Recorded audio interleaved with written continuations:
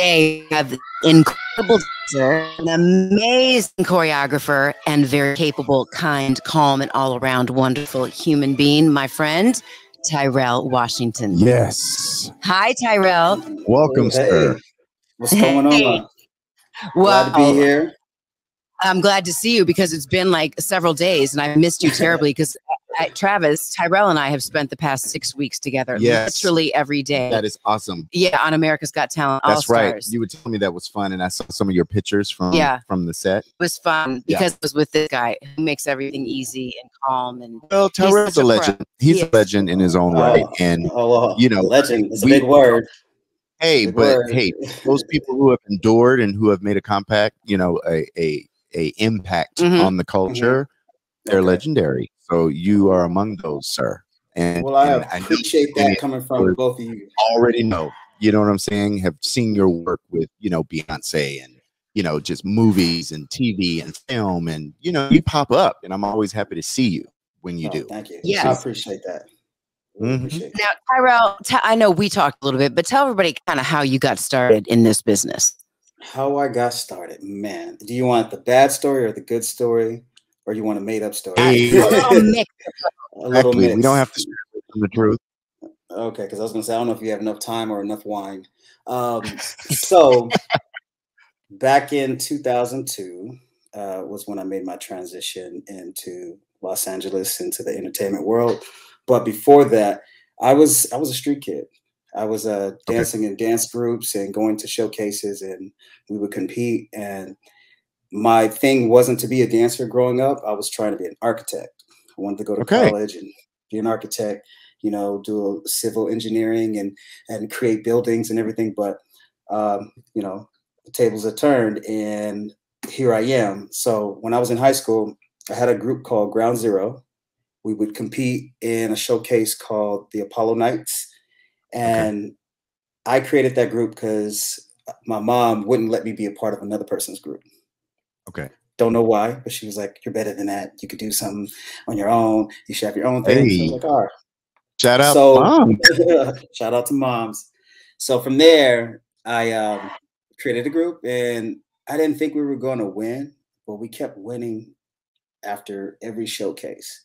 And from there, I was like telling myself, well, maybe this dance thing is something for me. I never knew anything about having a dance career. I thought I had to go to like Juilliard and, and train or, you know, uh, Alvin Ailey. But a lot of my friends had moved from Northern California into LA and they were telling me you should come out here and dance. So came out in 2001 to take a look and i saw like all these amazing people just grinding dancing acting training and it inspired me to move. Now along with my move i had an incident with uh let's just say my baby mother at the time Got it. so I had, yes, I had a, I had a child in high school, and I wanted to make a change. relationship. Mhm. Uh, There you go. That's the proper way to. Let me write that down. So, um, so I I take credit for that. That's Willie Williams, another YouTuber we love. Hey, Mr. Williams. Oh, okay. so um, when I moved to LA in 2002 in February, my goal was to give my daughter um, a better lifestyle than I had up in Northern Amen. California. And dancing was something that was, you know, right on the other side. And I just combined it, my fatherhood and my dance ability to progress in this career that I have. And here I am now, dancing, choreographing, artistic directing, um, creative producing. I never knew that all these things would occur, but um, my start was because of my daughter and my transition to LA as a dancer. It was inspired by a lot of my friends that believed in me.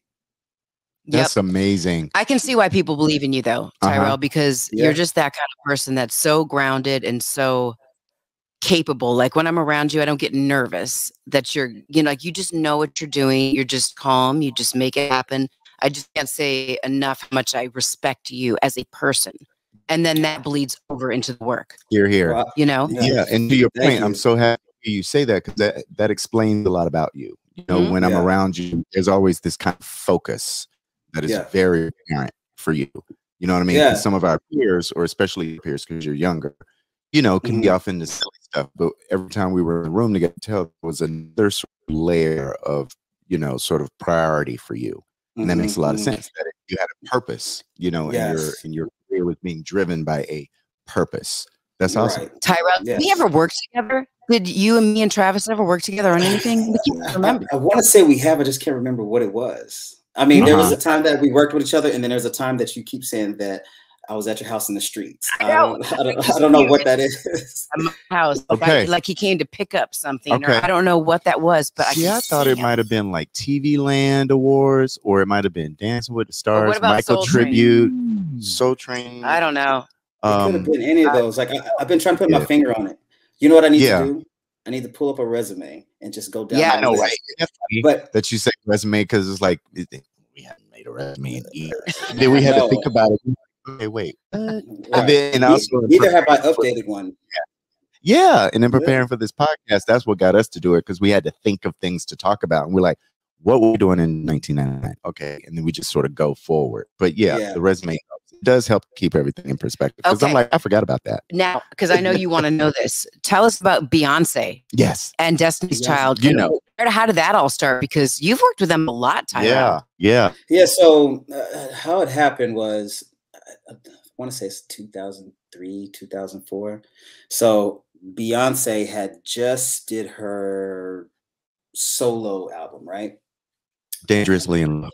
Dangerously in Love. And I happened to get called for an audition, and I was like, I've been going to a lot of these big calls. And Mhm. so with my whole dance career, one of the biggest things that was a problem to me was not the competition, but just like how many people needed a job. And I was I come from Northern Cali. I was on my hustle. So like, Yeah. I didn't have to like, you know, I didn't have to like really starve for a dollar. So I was always grinding. But when I was in LA, it was hard. And then hmm. going into these auditions, it was even harder because everybody was just as hungry as you were. Yeah. So I was like reluctant to go to the audition, but I ended up showing up and Beyonce was there, Frank Gatson was there, and I think Aisha Francis was there. They were running the audition. Um, did the audition, didn't know if I did good or not. And Frank Gatson said, if you work with me, raise your hand. So everybody raises their hand. He was like, step to the front. And then he kept pointing at me. He was like, you worked with me before. And I just paused because I was like, I don't know you. I've never seen you. I, I don't know what you're talking about. But I stepped forward. I, hey, if that was the opportunity to get the job, I guess I would. So I stepped forward. Uh-huh. And he was just saying that, like, you know, you guys, um, you worked with me before, and I can see that in this room, you're really showing your talent. He's like, you guys Mhm. stay. From there, booked the job, and I got a chance to dance side by side with somebody in height is totally different, but it was me and Mhm. Fly Styles. so I was just Yeah. like, oh, we're bookends. But that experience alone, I learned a lot through Fly Styles. You know, shout out to Fly. Um, Mhm. and then the Beyonce Experience tour was a eye opener of, first of all, not just dancing but traveling, Yeah. Mhm. experiencing the experience on big stages, the the power that an artist holds that can really move a crowd and how they perform. Um, professionalism, like me learning what it is to be on the road, me learning what it is to train, me learning what it is to dance beside other people that are great and like people telling each other step up. Um, Mhm. Me learning to build a name for myself and brand myself. Yep. But then it transcended into Destiny's Child was coming out. So I went on that tour, worked with some other artists and other dancers. And from there, it just, it kept growing. So I did that for probably about six, seven years. Wow. Wow, that's a long time. Yes. Yeah, like so it was it was it was great. I I learned a lot, I grew a lot, and at that time I also knew that I had to not in a bad way, but I had to get away from the Beyonce and Destiny's Child only because that's what I was known as. You're a Mm. Beyonce Destiny's Child dancer. So nobody knew me as being somebody who can adapt to all these other styles. So Got it. I think in 2000 I want to say 2007, I started making a change. And then around 2011 is when I just said, you know what? Let me dance with other artists, other projects, Mhm. Yeah. commercials, other choreographers. So Mhm. my experience in there was great. That was my uh, my training into the entertainment world as far as a dancer. And um, I give a lot of credit to Frank Gatson telling me to step forward and saying that I worked with him, which I didn't. Yeah, yeah, but he knew Yeah. he and it was probably political, and he was trying to help you out, and you know we Yeah. share history. Frank actually noticed me in Atlanta, you know, and Oh, it's really? one of the reasons I wound up in Mhm. L.A. Mhm. Yeah. Nice. he noticed I was dancing in a company in Atlanta, and so we came. Uh, I moved out here at 19 and started working closely with him, Lavelle Smith Jr. And we were a, a trio until about 1995 or 96. Okay. And uh, yeah, yeah, I get it. Yeah, he Yeah. can. yeah, he, he calls me his dance son. I was like, oh, okay. I was like, you're Good. my dance Aw. dad. yeah. I love that you said, oh, that's where you got your dance education. You're, Mhm. you know, because that's where you really do learn is on the job. Yep. You know, you can yeah. learn how to plie and tendu and do a pirouette Yep. in class, but you learn how to handle yourself, you know, and how to use what you've Yes. learned. When Yeah, Right. you're what a through. what a great job to have the crash course on. Yeah, You know, Yeah. I know. you know, Yeah, and it- let's not talk about that's six years worth of weekly salary. Yes. Oh, six years. Yes. Yes. I, I miss it. I mean, and hard but you know, scary to Right. I mean, You one know? of the, the, the greatest things too, though, was that um, out of the training that I got when I first moved to LA, I was like training at uh, Debbie Reynolds, when it was like Yeah. everybody was training in like separate styles. Everybody didn't do the same styles. Like I took a ballet class, I took a tap class, and I was uh, learning how to do um, jazz funk because I was, like I said, I was a hip hop kid, but a lot of these things I started adapting to really, really fast. But I never thought I would be able to put them to use once I got on the Beyonce tour, it was such a, a cluster of different styles that it all had to be done in there. And it was one of those things that I started getting nervous about because I was like, I don't think I trained long enough in this to present myself to be worthy on the stage, but it worked out and I'm here. Yeah, no, Dream- you just dreams say yes come true. and go. Yeah, You dreams keep- come Yeah. true. Yeah. Yeah. and you be in the experience, and it's just it's just working for you. So don't question it. Don't block the blessing. Now I Yeah. know we have to kind of hurry because Tyrell's working on the voice right now. yes, But I Oh, want I want to talk a little yeah. bit about this creative producing, you know, because Yeah. that was new to that was me taking a leap for America's Got Talent. I had never mm-hmm. done that before and I really loved it. Mhm. But Tyrell's been doing it for quite some time on mm-hmm. many different mm-hmm. shows like American Idol, The Voice, you know, AGT, all that. wonderful. So, how are you liking that? And are you do you aspire to do anything after that? Is this moving Yeah. you in a direction of cre- you know, creative Right. direction? No, absolutely. I, I, I love it. Um, I, I never knew what it was until um, Hi Hat actually gave us a, an opportunity, me and my wife, Latrina. Oh, yeah. ta-da. Hi. yeah, Mhm. Yes. yes. She Oh, gave us because- an and opportunity. you did with I had and Missy then Yeah, yeah, yeah, yeah, yeah. So, all that too. See, yeah, Mhm. you've worked with everybody. yeah. But so back to what you were saying.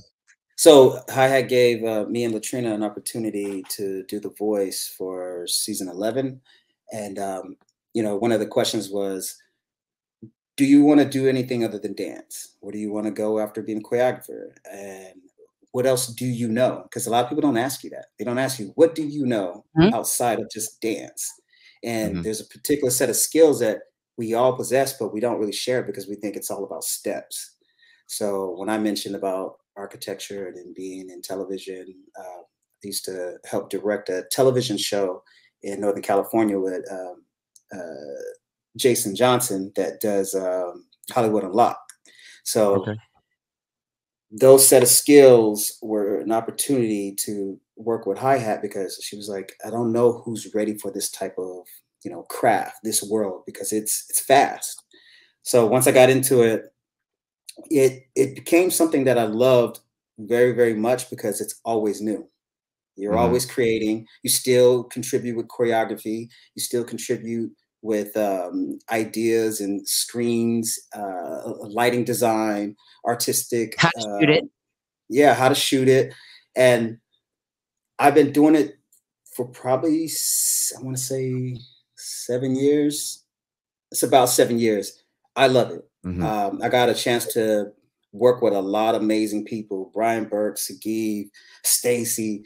Um, I got a chance. Yeah, I got a chance to work with you know uh, hi hat. Um, there's there's many other people, but uh, creating has been the most amazing part because creation never stops. There's no, there's Right. nothing that's like you never reach a limit.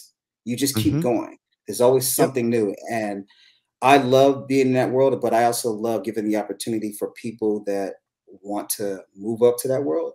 So while they're dancing and whatnot, I tell them make sure you're pay attention, paying attention to the lighting design. Make make sure you're paying paying attention to the production, who's working on the job. Make sure you're paying attention to just even people's workflow because these are things and other avenues that you don't really get taught by everybody, but it's free. Yeah, it's- free. It's right in front of you. Usually people go to school for this, but you have an easy doorway into this. And Yeah. I love it. Uh, one of my main goals is to be a director. I would love to do feature films. I would love to direct a TV show because when I'm in rehearsals, I do a lot of uh, camera work. And as a dancer, we all see things a little bit different than the normal eye. Yeah. Right. We're Yeah. very visual. Yeah. Yeah, and you know how you're like, it needs to be shot this way to get that the right picture, the right emotion, the right crisp, like you know, the right the look and the movement of it. So, and that's choreography still. So Yeah. it's it's it's a wonderful job. I mean, I've been doing it for a while, and I don't think I'll ever um, get bored of it. No, it's just cool because we like to talk to different people about what they're doing now and where dance has brought them, you know, whether it is Mhm. choreography or directing or decorating or, or, acting or producing, Yes. creative Yep. producing. There's so many different um, ways, pe- or hosting, you know, Yeah. talk to Carrie Yeah. And yeah so Right. it's, it's just cool to show all these different options. And it, Mhm. it, it is a really, really fun thing. We should, you should talk to Courtney Miller. Yeah. You- Do you know Courtney Yeah. Miller? He, I've, I've met him a couple times, and I know yeah, you guys with uh, Cliff dancer, McGee a lot. and now, yeah, and now he directs. So I feel you guys would be able to have a good conversation, and you could probably learn a lot from Courtney And each well. other. Each Yeah. yeah, for sure. i think that's great that's I wonderful that. so Tyrell, tell the people where they can find you on social media because i know all of our listeners and viewers would love to keep up with what you're doing Okay, so hey, so uh, as Right. far as Instagram, Instagram handle is Mr. Tyrell Washington. If you don't know how to spell Tyrell, it's T Y R E L L. And uh, if you want to uh, follow me on my joint website with me and my wife, because we both do everything together, whether it's dancing, choreographing, um, Or raising three kids. directing, while raising three kids, creative producing, you can follow us at Tyrell Latrina. That's T Y R E L L, another L, A T R I N A. Um, we have another um, handle that's, um, if you just want to see how crazy me and my family are, right it's called Meet the Washingtons. So if you, Oh, I, okay I got hey i like that and, and you have a birthday you have a birthday today your son yes, I'm celebrating my son's birthday. He just turned 15. He thinks Hey. he's grown. He has a little peach fuzz on his lips. So uh, I lined him up today, gave him a haircut. But yeah, we're gonna That's celebrate awesome. today. Well, congratulations to you, Latrina. Y'all got a car share. yeah. Oh my gosh. Please, somebody can Keep watch these kids. Mm-hmm. Well, Tyrell, get back to the voice. Thanks for taking time out to talk to us. Yes. I love and miss you so much. yes, Oh, you guys. likewise. This has been the legend, Tyrell Washington. Thank you, Tyrell. appreciate it. Bye, you brother. guys. Thank you. Take care. You too.